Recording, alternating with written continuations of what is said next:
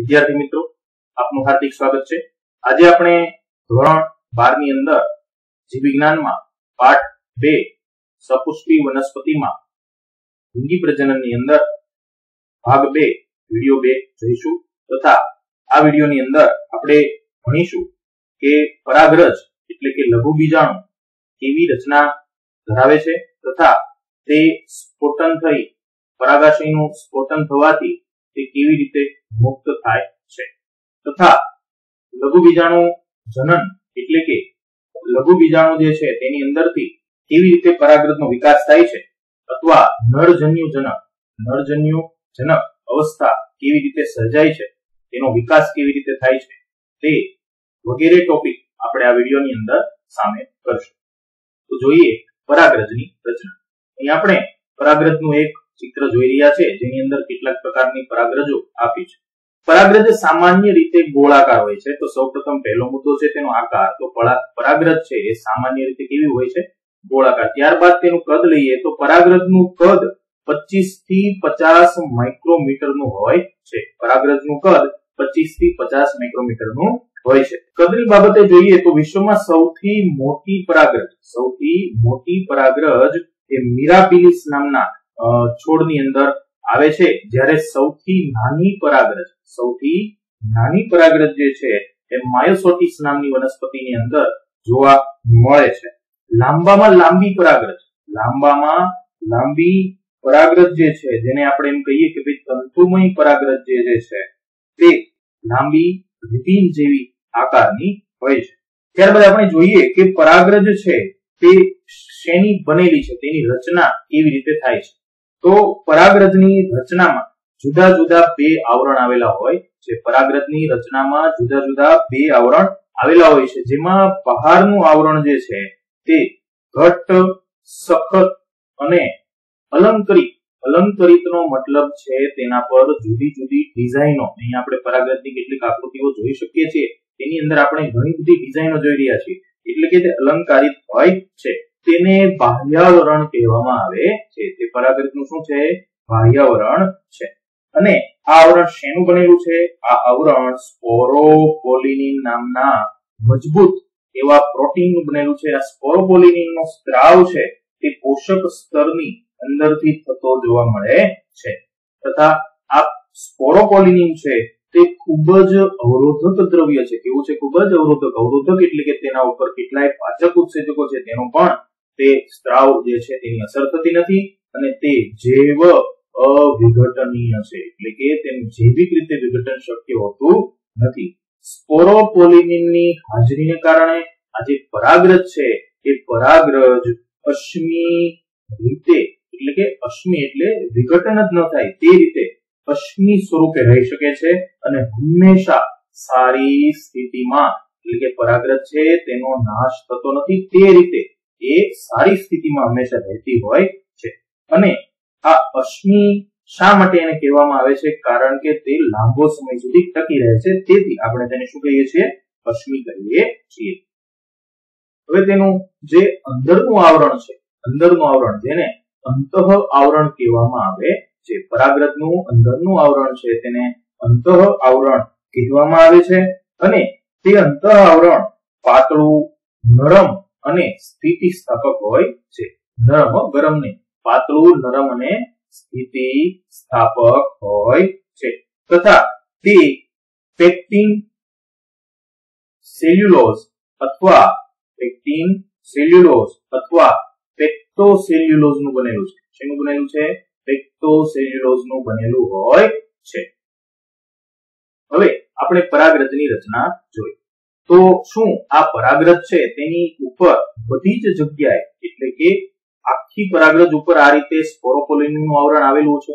શું ક્યાંય સ્પોરોપોલિનિનનું આવરણ ન હોય તેવી જગ્યા છે ખરી તો હા, સ્પોરોપોલિનિનનું આવરણ કેટલીક જગ્યાએ અહીં ગેરહાજર હોય છે.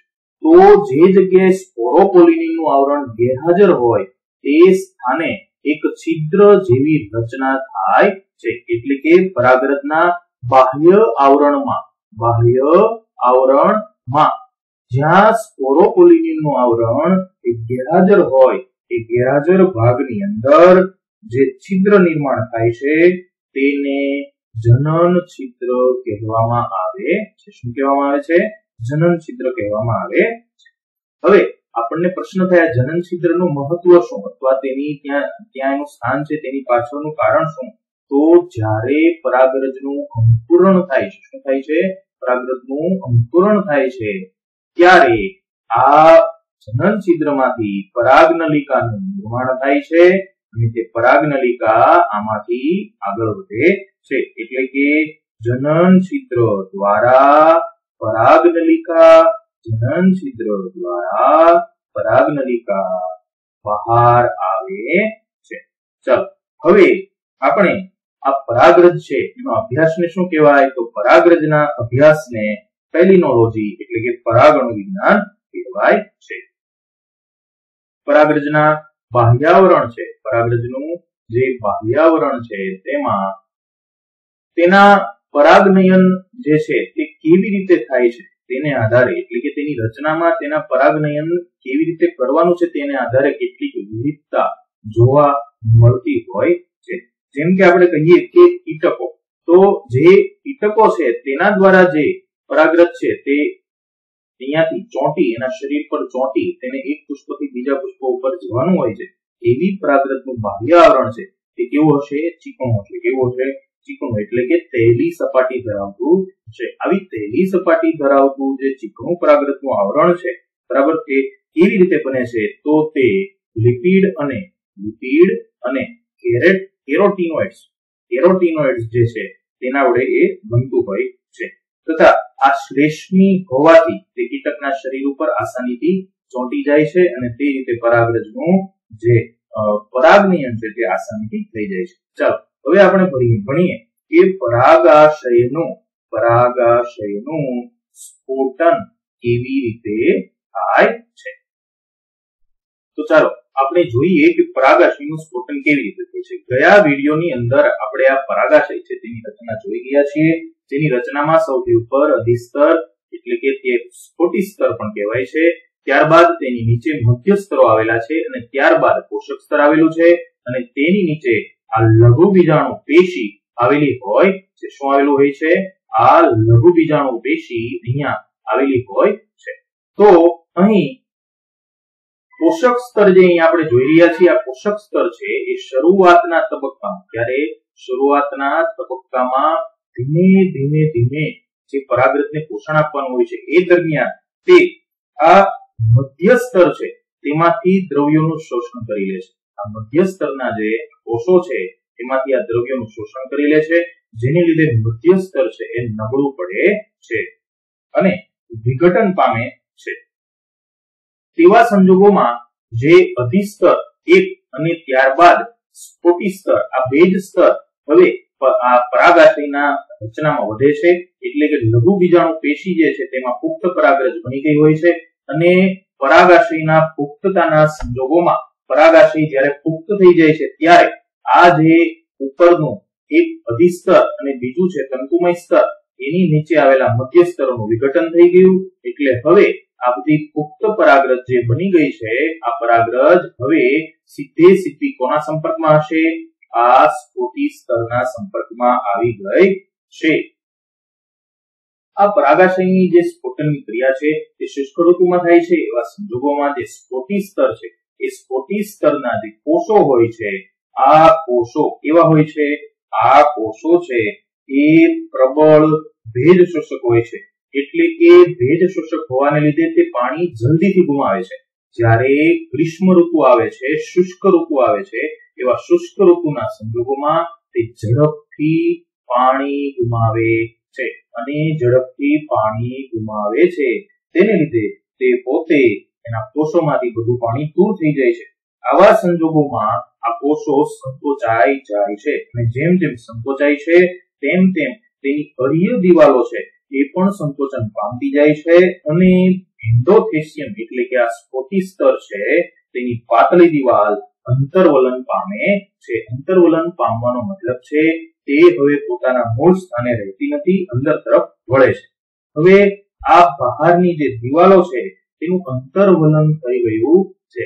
આવા અંતરવલનના સંજોગોમાં જે ખેંચાણ ઉત્પન્ન થાય છે, પરાગાશયની જે આ સપાટી છે, તેના ઉપર જે ખેંચાણ ઉત્પન્ન થાય છે તે ખેંચાણને કારણે અહીંયાથી આ કોષો જે છે તેમની વચ્ચે આ દિવાલો છે એ બધી તૂટવા લાગે છે અને આ રીતે પરાગાશયનું સ્ફોટન થઈ જાય છે તથા આ પરાગરજ છે એ વાતાવરણમાં વાતાવરણમાં મુક્ત થાય છે. હવે આ પરાગાશય છે એનું સ્ફોટન ઘણી રીતે થતું હોય છે. ચાલો આપણે પરાગાશયની કેટલીક આકૃતિઓ જોઈએ. અહીંયા આપણે આકૃતિની અંદર જોઈ શકીએ છીએ કે આ પરાગાશય જે છે, એ તદ્દન એમ કહેવાય કે હજી પુખ્ત થયું નથી. ત્યારબાદ આપણે આ પી આકૃતિની અંદર જોઈ શકીએ છીએ કે એ વધારે થોડીક પરિપક્વતા પામે છે. ત્યારબાદ અહીં આપણે જે સી આકૃતિ છે એની અંદર તેનું સંપૂર્ણ સ્ફોટન જે છે, એ જોઈ શકીએ છીએ. અહીંયા આ સ્ફોટન થયા બાદ અહીંયાથી પરાગ્રત છે, એ મુક્ત થયેલી પણ જોઈ શકીએ છીએ. બીજું અહીંયા ચિત્ર આપેલું છે જેની અંદર પરાગાશય સ્ફોટન થવાની જે રીતો છે તે આપેલી છે. જ્યારે ઘણા પરાગાશયની રચના એવી હોય છે જેમાં ઉપર આ ઢાંકણા જેવી રચના હોય છે, એમાંથી સીધી પરાગરજ છે, એ બધી મુક્ત થઈ જાય છે. જ્યારે નાના એવી ફાંટ દ્વારા પરાગરજ છે તે મુક્ત થઈ શકે છે. તથા અહીંયા સંપૂર્ણપણે સમગ્ર ફાંટ જે અહીંયા ચિત્ર આપેલું છે તે સંપૂર્ણપણે લોંગિટ્યુડિનલ એટલે કે ઊભી ખાંચ દ્વારા અહીંયા સ્ફોટન થાય છે. તથા અહીંયા આડી ખાંચ દ્વારા અહીંયા પરાગાશય છે, અડધું ખુલી જાય છે અને તે રીતે અહીંયા સ્ફોટન થાય છે. જ્યારે અહીં બે સાઈડમાંથી જે આ અહીંયા ખંડો છે, મુખ્ય ખંડો છે પરાગાશયના બે, તેની અંદરથી અહીંયા સ્ફોટન થાય છે. જે કોટરો હોય છે, એક ખંડની અંદર જે બે કોટર હોય છે, તેમની વચ્ચેની જે દિવાલ હોય છે, તે ત્યાં સુધીમાં વિઘટન પામી જાય છે. તથા અહીંયા અનિયમિત આકારે સ્ફોટન જે આપણે જોઈ શકીએ છીએ. હવે આપણે જોઈ રહ્યા છીએ લઘુ બીજાણુ જનન નર જન્યુજનકનો વિકાસ. તો જે પરાગરજ છે, એ પરાગરજ એ નર જન્યુજનક અવસ્થાનું અહીંયા પ્રતિનિધિત્વ કરે છે. પ્રતિનિધિત્વનો મતલબ છે, તે પ્રથમ એવો કોષ છે કે જે આ નર જન્યુજનક અવસ્થા દર્શાવે છે. સ્ફોટન થયા પહેલા પરાગાશય છે, એનું સ્ફોટન થયા પહેલા પરાગરજ છે, એ પરાગરજનું અંકુરણ થાય છે અથવા તેની વૃદ્ધિ થઈ ગઈ હોય છે. એટલે કે સ્ફોટન થયા પહેલા પરાગરજ પોતે એ પુખ્ત થવી જરૂરી છે. આ જે અવસ્થા છે, બરાબર છે? એટલે કે આ તરુણ પરાગાશય છે, ત્યારબાદ અહીંયા પુખ્ત પરાગાશય છે, એ હવે અહીંયાથી સ્ફોટન પામે છે અને આ જે પરાગરજ છે એથી મુક્ત થાય છે. એટલે કે આને કહેવાય પૂર્વ સ્ફોટન અવસ્થા. કહેવાય? પૂર્વ સ્ફોટન અવસ્થા. આ પૂર્વ સ્ફોટન અવસ્થા છે, એ દરમિયાન પરાગરજ છે વિકાસ પામતી હોય છે. અને આ પૂર્વ પરાગનિયન વિકાસ કહેવામાં આવે છે. તો આપણે પૂર્વ પરાગનિયન વિકાસ છે એના વિશે થોડીક વાત કરીએ. શરૂઆતની તબક્કે જે આ પરાગરજ છે, બરાબર? એ પરાગરજ આપણે આગળ ટેટ્રેડ બનતું બરાબર ને એક જે લઘુ બીજાણુજનક પેશી છે, એના દરેક કોષની અંદરથી ચાર કોષો બનતા હતા. ચાર લઘુ છે, એમાંથી આ એક પરાગરજ છે. એનું જે કોષ કેન્દ્ર છે, એ કોષ કેન્દ્ર અસમ વિભાજન પામે આ અસમ વિભાજન પામવાને લીધે અસમ વિભાજન પામવાને લીધે શું થાય? કે બે અસમ કદના કોષ કેન્દ્રો બને. બરાબર? કે નાનું કોષ કેન્દ્ર જે હોય, બરાબર? નાનું કોષ કેન્દ્ર હોય તે દિવાલ નજીક અડેલું હોય છે. બરાબર? જેને જનન કોષ એવું કહેવામાં આવે છે. તથા જે બીજું મોટું કોષ કેન્દ્ર છે તે અનિયમિત આકારનું છે, અને જે શું કહેવામાં આવે છે તેને? નાલકોષ અથવા વનસ્પતિ કોષ. બરાબર? નાલકોષ અથવા વાનસ્પતિક કોષ એવું કહેવામાં આવે છે. આ વનસ્પતિ કોષ અને વનસ્પતિ કોષ અને નાલકોષ બંને કોષ રસથી ઘેરાયેલા હોય છે અને તેઓ ઘટ બને છે અને ત્યારબાદ તેમાંથી કોષ રસ વિભાજનની ક્રિયા છે એ આગળ વધે છે અને તેને લીધે એક પરાગરજની અંદર બે અસમ કદના કોષોનું નિર્માણ થાય છે. એક તરફ મોટો વાનસ્પતિક કોષ બને છે. એક જ પરાગરજની અંદર એક મોટો વાનસ્પતિક કોષ બને છે. જ્યારે બીજો એક જનન કોષ તેનું નિર્માણ થાય છે.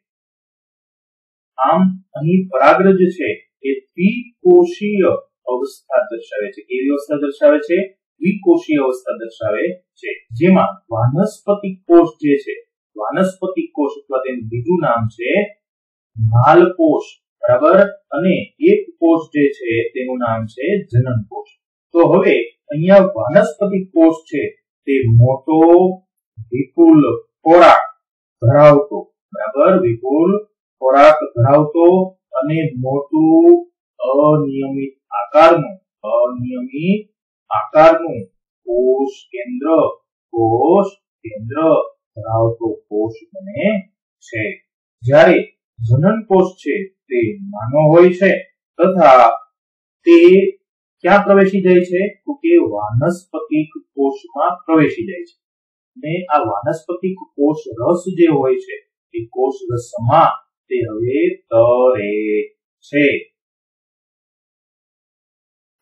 તેનો આકાર છે, તે ત્રાકાકાર હોય છે. કેવો હોય છે?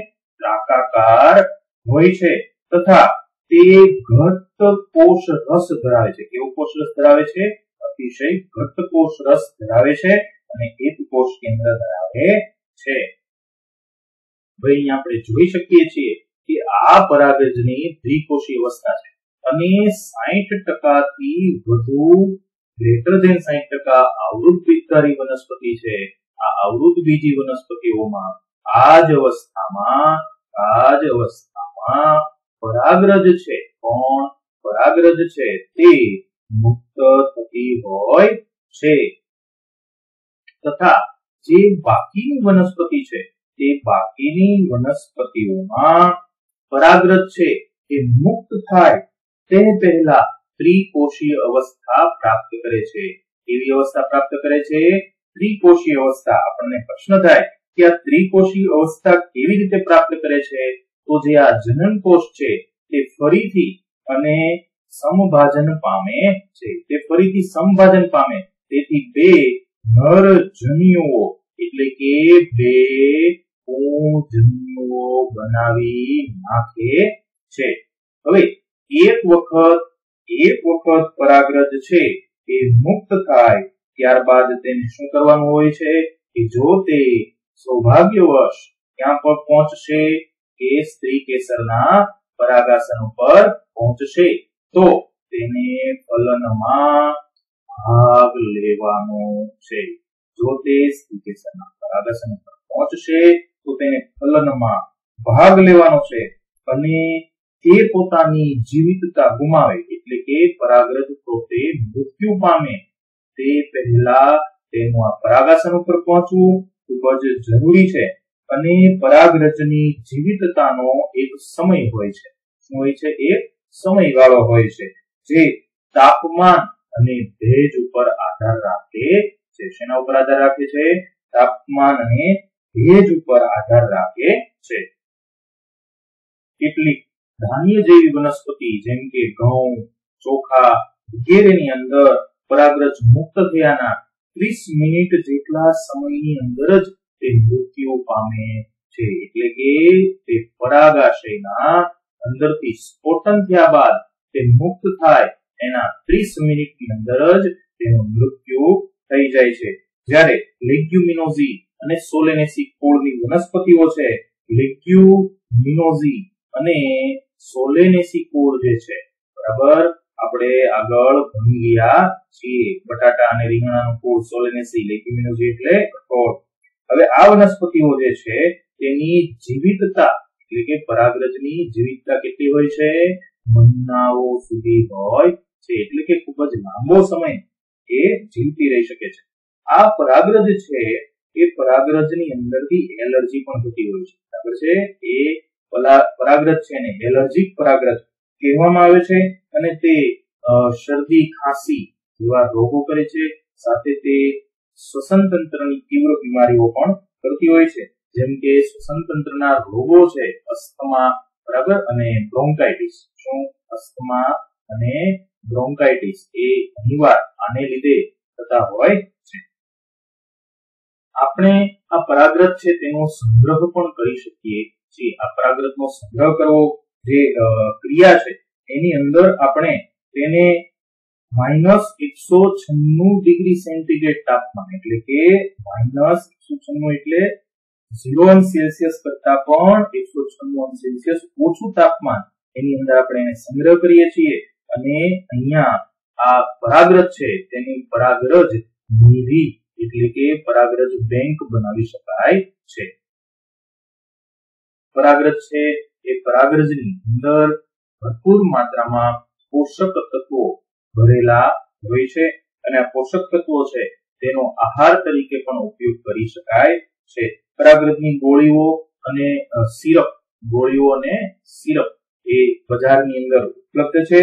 રમતવીરો અને દોડવીરો જે છે, એ આ પોતાના ઘોડાઓ છે, એના આહારમાં આનો ઉપયોગ કરે છે. જે રમતવીરો હોય અને દોડમાં ભાગ લેનારા જે ઘોડાઓ હોય, તેના આહારમાં સારા દેખાવ માટે, એટલે કે આ પરાગરજની અંદરથી જે પોષક તત્વો મળે છે, તેના લીધે તેમને ખૂબ જ સારું શક્તિ મળે છે, એટલે સારા દેખાવ માટે તેનો આહાર તરીકે ઉપયોગ કરે છે. આ લેક્ચરની અંદર આપણે અહીં સુધી જોશું. હવે નેક્સ્ટ લેક્ચરની અંદર આપણે માતા જનન અંગ માદા જનન અંગ તરીકે સ્ત્રી કેસર અને માદા જન્યજનક અવસ્થા વિશે ભણીશું. ખૂબ ખૂબ આભાર. વંદે માત્રમ. જય હિન્દ. સેવ એજ્યુકેશનની ચેનલ સબસ્ક્રાઇબ કરજો શેર કરજો. સહકાર કરજો.